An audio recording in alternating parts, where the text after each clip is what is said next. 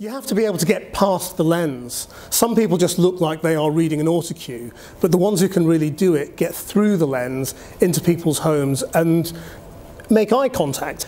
There isn't a route to becoming a news presenter. Most people have either been producers or correspondents. And as they've become more and more confident on camera, somebody or other says, well, why don't you have a go? Your primary motivation has got to be journalism, not being on TV.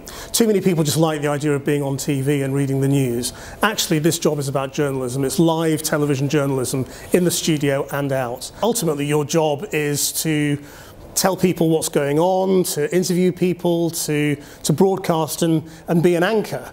And if technical things go wrong, which they do, it doesn't really matter. You've just got to carry on uh, and remember what you're there to do. You've got to be motivated as a television journalist to find things out, to break stories, to hold people to account.